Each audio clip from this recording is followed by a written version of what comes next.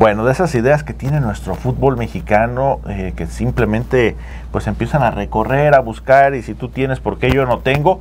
Yo así veo lo que está tratando de hacer el equipo de Rayados de Monterrey, traer a un holandés.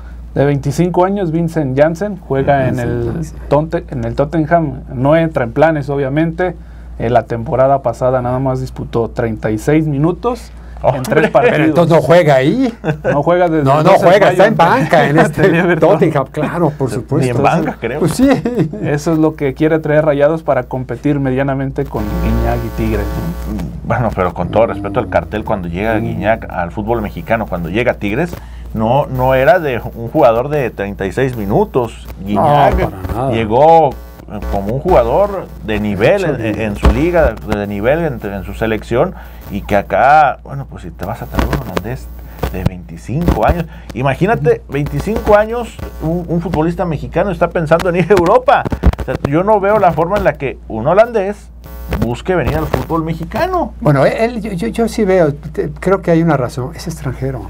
Pues sí, pero que... Y es holandés. Claro, y eso es lo que te va a vender solamente. Bueno, pues es lo que sí están intentando hacer me parece que buscarían, debería buscar eh, Monterrey tener los ojos en algún otro personaje más importante, ¿no? La, posición estará muy necesitada Monterrey como, como para traer a alguien de, de 36 minutos solamente de actividad en su equipo? No, no la, verdad es eh, la, gran, gran, pregunta, ¿no? O sea, ¿por qué? No es necesario realmente. Tienes a Funes Mori de los mejores eh, de la liga, está en la banca Saldívar, un prospecto importante.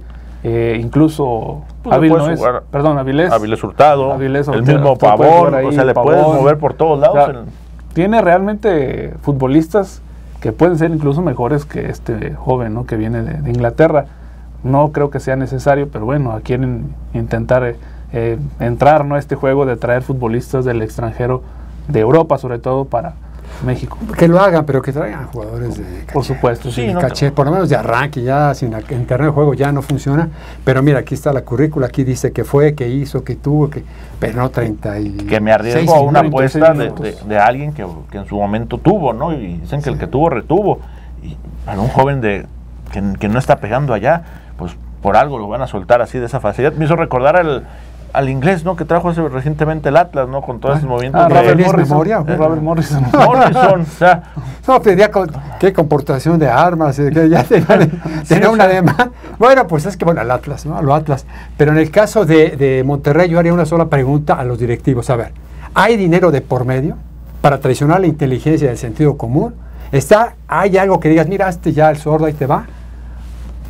Porque de otra manera, ¿qué le ven?